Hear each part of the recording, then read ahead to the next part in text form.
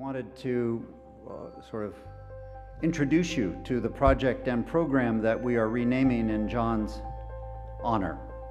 John was a natural ally.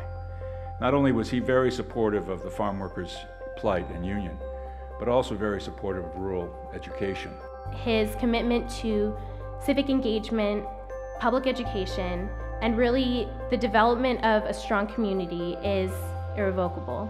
The Institute for Community and Civic Engagement will magically transform into the Vasconcellos Institute for Democracy in Action.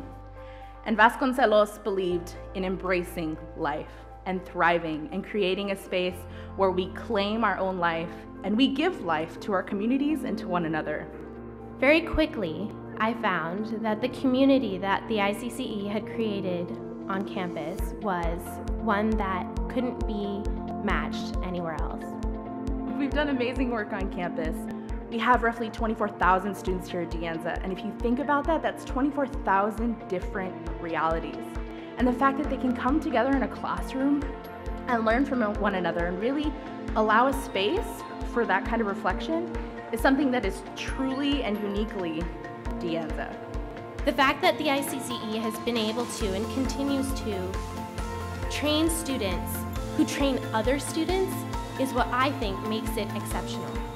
The ideal comes from that you teach from the heart and you learn as much from the person sitting next to you as the person standing at the front of the classroom. I thank the ICCE uh, for giving this platform. This is so important.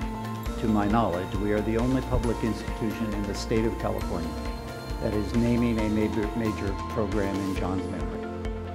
And because, as Mayra said, I'd better be able to walk the talk. Uh, I do have here a $1,000 check, and I will give it uh, to you. Viva Vasconcellos at De Anza College.